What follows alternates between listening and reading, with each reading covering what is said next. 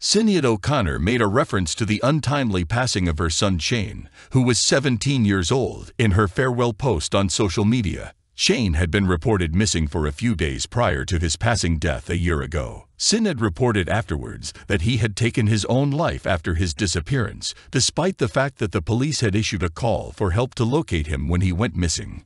Following the tragic announcement that Sinead had passed away on July 26, attention shifted to the last social media post that she had made, in which she had uploaded a picture of Shane. Alongside it, she penned the following Been living as an undead night creature since then. He was the greatest love of my life and the brightest light in my soul.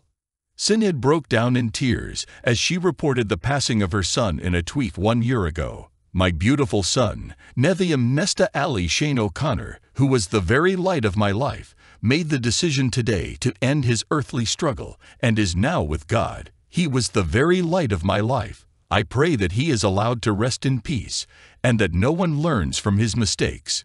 My baby, I adore you so much. She pleaded with the reader to please be at peace. Sinead took to social media while her kid was missing in order to appeal to the public for assistance in locating him. She also made an open plea to her son, pushing him to come in touch with the authorities so that they might provide him with the assistance he required. This appeal was made public.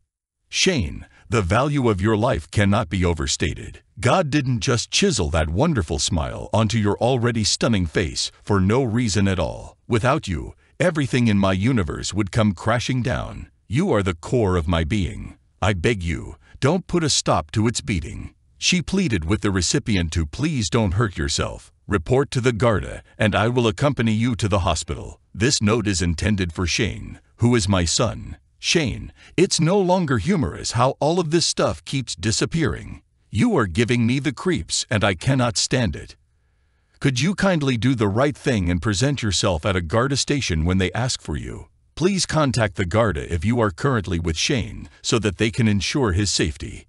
The police made the announcement that his body had been recovered two days after the search had first begun, following the recovery of a body in the Bray area of Wicklow on Friday, 7 January 2022.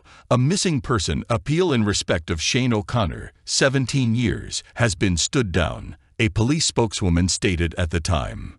The missing person appeal in respect of Shane O'Connor, 17 years, has been stood down.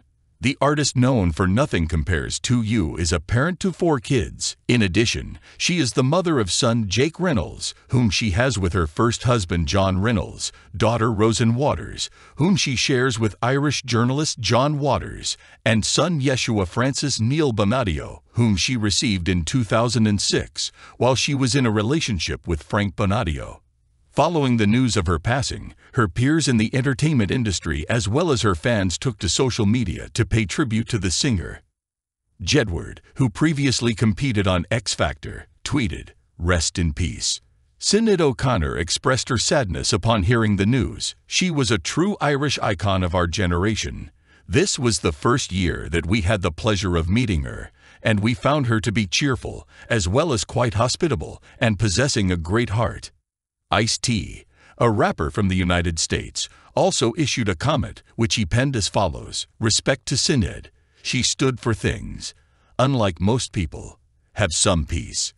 Grace Petrie, a performer who specializes in folk music, said in a tweet, Desperately sad news about Sinead O'Connor, an wonderful artist and a powerful advocate for social justice, who should have been treated much better than what she got from the music industry and the media.